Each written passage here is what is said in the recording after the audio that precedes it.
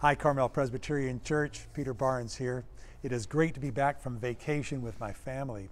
We had 15 people in one big beach house on the coast of North Carolina. And you know what it's like to be with families a little chaos, a little drama, and a whole lot of laughter and fun. We had a great time.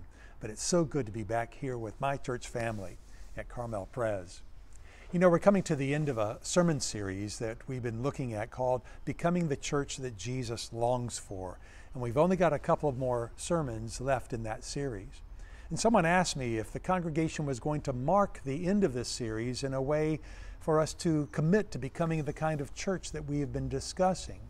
And it seems to me that making some kind of congregational covenant would be a great way to express that. The elders recently have adopted a leadership covenant that will guide them in their work together. The staff also has approved and embraced a staff covenant to guide them. And so, as we celebrate the end of this sermon series, I'm going to offer you an opportunity to sign a congregational covenant which affirms the various mutuality commands that we've been discussing to love one another, to serve one another, to submit to one another, to comfort one another, and so forth. And as we think about doing this, you won't be asked to, to turn this covenant in. It's something that's between you and God. But I'm going to encourage you to take it home and to put it somewhere, like in your Bible or on your bathroom mirror, to be a, a reminder to you on a regular basis of the ways in which we want everyone to pledge that they will do their part to help CPC become the church that Jesus longs for. This Sunday, I'm going to be preaching on the, one of the more difficult mutuality commands, and that is admonish one another.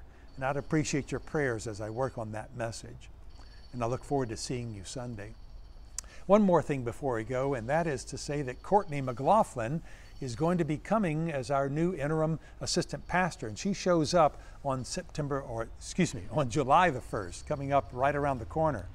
And she and her husband Jim are going to be living in the church manse that has been is being renovated, but it's not going to be ready by July the 1st. And so if you have a back house or you know of a place that she might be able to, to use or even to rent on a short-term basis, that would be really great. And please contact me or anyone here at the church office. We'd love to put them in touch with Courtney.